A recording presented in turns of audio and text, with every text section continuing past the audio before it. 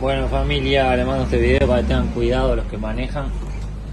Estoy trabajando y miren en el coche lo que me puso la intendencia. Es una cámara para multas. Esa cámara va todo el tiempo apuntando hacia adelante y todo lo que pasa delante del ómnibus, mal estacionados.